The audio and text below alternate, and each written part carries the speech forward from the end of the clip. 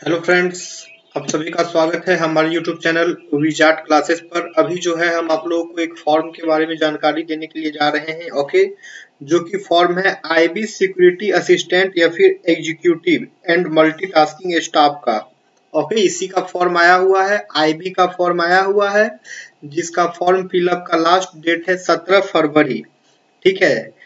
General OBC EWS को form fill करने का चार्जेज है पाँच सौ रुपये एस सी का साढ़े चार सौ और ऑल कैटेगरी फीमेल का साढ़े चार सौ फ़ीस है। ओके तो आइए जानते हैं इस फॉर्म के बारे में।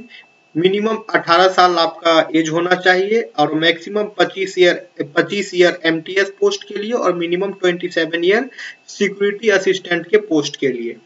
क्वालिफिकेशन वही है है कि टेंथ पास होना चाहिए। किसी भी रिकॉग्नाइज्ड बोर्ड ऑफ़ इंडिया के domicile related to applied zone जहाँ से आप फॉर्म फिल कर रहे हो, वहाँ के आप डोमिसाइल होना चाहिए, ठीक है? आपको लोकल लैंग्वेज आना चाहिए वहाँ का, ठीक है? टोटल 1525 पोस्ट है सिक्योरिटी असिस्टेंट या फिर एग्जीक्यूटिव का और मल्टीटास्किंग स्टाफ का डेढ़ सौ। यहाँ पे आप देख सकते हैं जनरल का 755 सीट है आईबी सिक्योरिटी में और मल्टीटास्किंग में 68 है। इसी तरह ईडब्ल्यूएस e का एक सौ बावन दूसरा ओबीसी का दो सौ इकहत्तर एस का दो सौ चालीस एस टी का एक सौ तीन।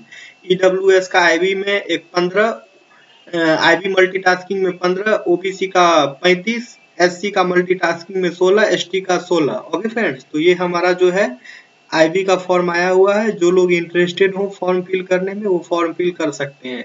आप लोग यहाँ से नोटिफिकेशन भी डाउनलोड करके पढ़ सकते हैं। मैंने नोटिफिकेशन डाउनलोड कर रखा है पहले से तो आइए देखिए नोटिफिकेशन सारा स्टेट वाइज जो है यहाँ पे दिया गया है कि कहाँ कितना सीट है, किस स्टेट में। ओके तो फिर आप लोग फॉर्म फिल कर सकते हैं। पे स्केल देख लीजिए। लेवल थ्री लेवल वन सबका पे स्केल यहाँ पे दिया हुआ है। एसेंशियल क्वालिफिकेशन वही है कि क्लास टेन होना चाहिए।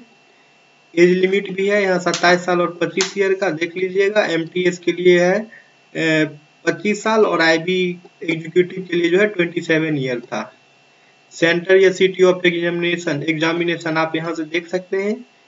आपके स्टेट में कहाँ कहाँ इसका सेंटर रह सकता है। ओके तो एग्जामिनेशन पैटर्न इसका देख लीजिए। टायर वन, टीयर टू और टीयर टू में जो है, ये क्या है एस एग्जीक्यूटिव ओनली के लिए स्पोकन एबिलिटी भी होगा। फिर टायर थ्री में जो है पर्सनालिटी टेस्ट भी है।